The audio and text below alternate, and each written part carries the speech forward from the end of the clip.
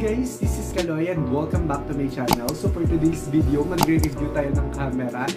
Kasi bumili na ako ng vlogging camera para dito sa YouTube channel ko since medyo matagal na din ako dito and ever since, ang ginagamit ko lang talaga is camera ng phone ko. So ngayon, bumili ako ng affordable camera para dito sa channel ko. And this is the Canon G7X Mark II. So itong camera na to, na-release siya noong 2017 and I think naging hype siya until 2020 or 2021. Dahil nga siguro this is one of the affordable and syempre iba din talaga yung video na naibibigay ng camera na ito. And ngayon, titignan natin kung okay pa rin ba siyang ipam-vlog ngayong 2022. Since medyo matagal na din yung release nito, marami na ding na-release na bago. And kung mas maganda bang bumili ng camera na ganito or mas maganda kung phone na lang yung gamitin ng mga small YouTuber. By the way guys, ang ginagamit kong camera pang-vlog ngayon is yung phone ko. This is the Samsung A52 and maganda din naman yung quality ng video na nabibigay niya pero mas gusto ko pang i-improve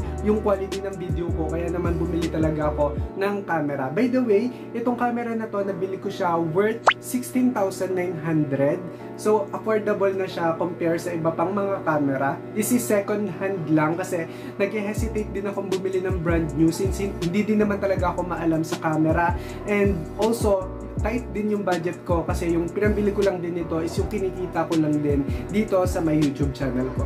So, nabili ko nga to sa price na 16,900 second hand and nabili ko siya sa Facebook, sa marketplace sa Facebook. Mag-search lang kayo sa Facebook ng Canon G7X Mark II and madami nang lalabas na camera. Pero mag-ingat pa din kayo since second hand game bibilin nyo and hindi nyo alam kung sino yung pagbibilan nyo. Dapat maging mabusisi din kayo sa pagbibilan nyo. Itong binilhan ko nito is photographer. Meron din naman sa Shopee and also sa Lazada ng mga second hand.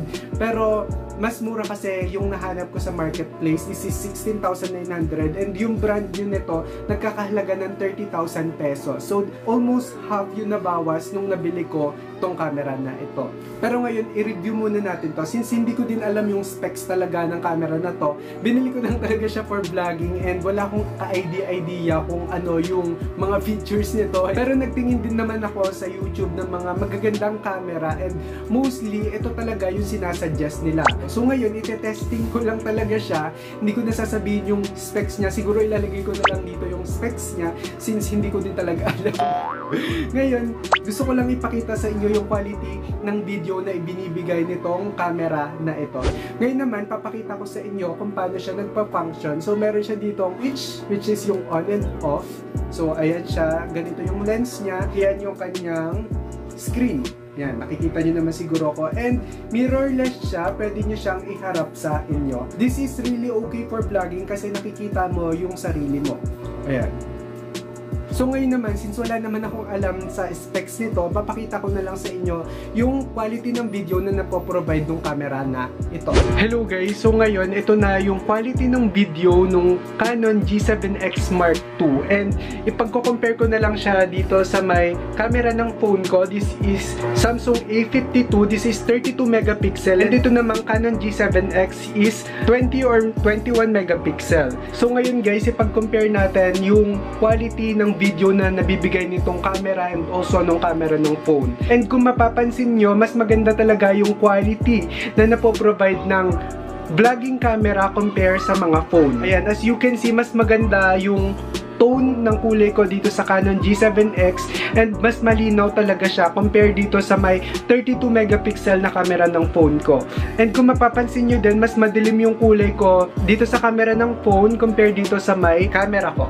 Meron nga pala akong lights, ayan as you can see, nagre-reflect sa salamin ko. Ngayon naman, tatry kong patayin yung mga ilaw and tingnan natin kung ano yung mas maganda. So guys, ito naman yung comparison ng aking Samsung A52 and ng aking Canon G7X kapag walang ilaw kasi pinatay ko na yung lights and also hindi ko na din hawak yung camera kasi medyo na nangawit na din ako and ngayon, ito yung quality ng G7X and ito naman yung quality ng aking phone and as you can see kahit wala ng ilaw, maliwanag pa rin yung naibibigay na quality ng Canon G7X. And aside from maliwanag itong camera na to, maganda din talaga yung quality niya. Ayan, as you can see, ayan nakikita nyo pa rin yung mga pimples ko. Compare dito sa camera ng phone ko, medyo madilim na din siya kanina while merong ilaw and also mas naging madilim pa siya ngayon na walang ilaw. So ngayon natural light lang yung ginagamit natin and hindi talaga may pagkakailan na mas maganda pa rin talaga tong Canon G7X compare dito sa may camera ng phone ko. Regarding naman sa sounds, ngayon gagamitin ko it's itong sound ng G7X. Yun lang ang hindi maganda sa camera na to kasi hindi siya nalalagyan ng external mic compare dito sa phone ko nalalagyan siya ng external mic and compare sa mga bagong camera na nalalagyan ng external mic. Meron lang itong internal mic pero hindi na din naman siya masama kasi maganda din daw yung napoprovide na quality ng sounds ito pero hindi ko pa rin alam kasi hindi ko pa naririnig. So ngayon, titigil ko na yung comparison between sa aking phone sa dito sa camera. Lilipat na ako dito sa Canon G7X. So papatayin ko na to. So hello guys, ngayon ang ginagamit ko ng camera is itong Canon G7X and as you can see, maganda talaga yung quality ng video na napoprovide ng camera na to. And may isasuggest ko pa rin talaga siya this 2022. And para sa akin, mas maganda pa rin talaga na gumamit ng mga camera na katulad nito for vlogging. Lalo na kung afford nyo naman, kung bibili kayo ng phone for vlogging, mas maganda kung bibili na lang kayo ng vlogging camera for your vlogs. Kasi kung i-compare natin yung mga camera na katulad nito sa mga phones natin ngayon, kahit na medyo matataas yung unit, hindi talaga may pagkakaila na makikipagsabayan pa rin talaga yung mga camera na katulad nito. So, kung ako sa inyo guys, kung meron naman kayong budget sa pagbili ng camera, kahit na lumang unit katulad nitong Canon G7X, magagamit pa rin talaga siya this 2022. As you can see, kahit na medyo luma na yung unit niya, sobrang ganda pa rin talaga ng quality niya. And actually, mas maganda pa nga yung quality nito compare sa mga bagong phones ngayon. Kaya kung mga small YouTubers din kayo and naghahanap kayo ng affordable camera and kung gusto nyo rin talagang ma-improve yung quality ng inyong mga vlogs, mas may re-recommend ko talaga na mag-invest kayo sa mga camera na katulad nito. So yun lang guys yung review ko dito sa my Canon G7X Mark II and sana meron kayo natutunan and kung meron pa kayong questions, suggestions, and recommendations, kung meron pa kayong mga videos na gusto pang ipagawa sa akin, just comment down below. Thanks for watching! Thank you.